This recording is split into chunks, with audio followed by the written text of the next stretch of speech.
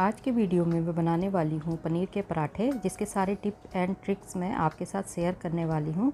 तो उसके लिए सबसे पहले हमें आटा गूंदना है। जिसके लिए मैंने लिया है दो कप आटा, उसमें डाला है नमक, तेल और अजवाइन। और इसको पानी की सहायता से इसे सॉफ्ट डो बनाना है इसका हमें। ये हमारा सॉफ्ट डो बन गया है। इसे 15 से 20 मिनट के लिए हम साइड में रख देंगे। तब तक हम पनीर को अच्छे से मैश कर लेते हैं। अगर आपका पनीर हार्ड है तो आप कद्दूकस से करें। मेरा तो सॉफ्ट था तो मैंने हाथ से ही कर लिया। अब एक कढ़ाई में तेल गरम करेंगे। उसमें डालेंगे जीरा। ये मैंने एक बड़ा प्याज है, जिसे बारीक काट लिया है। इसे थोड़ी देर भुनेंगे। जैसे ही प्याज सॉफ्ट होता है, इसमें डालेंगे अदरक लहसुन का पेस्ट। इसे भी थोड़ी देर भुनेंगे।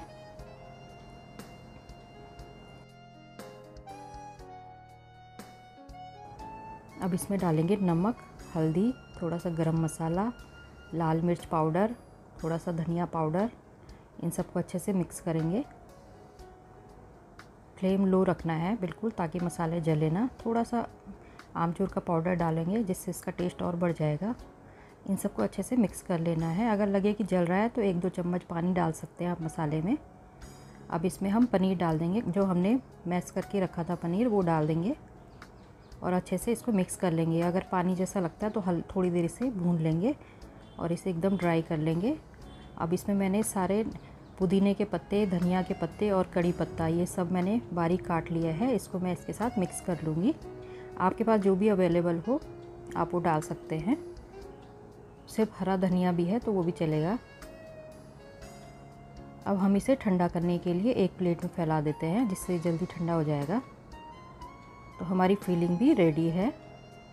पंद्रह मिनट हो गए हैं, आटे ने भी रेस्ट कर लिया है। इसकी हमें गोलियाँ बनानी है।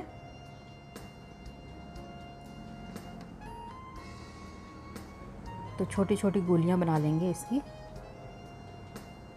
अब एक प्लेट में तेल लगा के उसको इसमें, गोलियों को इसमें रख देंगे ताकि ये सूखे ना और इसके ऊपर एक कपड़ा डाल देंगे। एक गोली को निकालेंगे, बाकी को हम कपड़े के नीचे ढक के रख देंगे। अब हमें इसे थोड़ा सा बेलना है।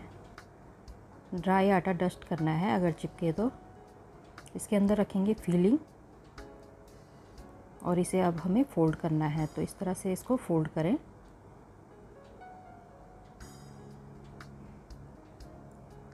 और जो ऊपर का एक्स्ट्रा आटा है उसको हटा देंगे, नहीं तो ये बीच से मोटा हो जाएगा। अब हम इसे थोड़ा सा आटा डस्ट करके हल्के हल्के हाथों से इसकी फीलिंग को चारों तरफ़ फैलाएँगे। पहले हाथ से ही फैलाएँगे इसको। अगर लगता है कहीं से फीलिंग बाहर निकल रही है, वहाँ पे थोड़ा सा सूखा आटा डाल सकते हैं। अब इसे हम हल्के हाथों से बेलेंगे।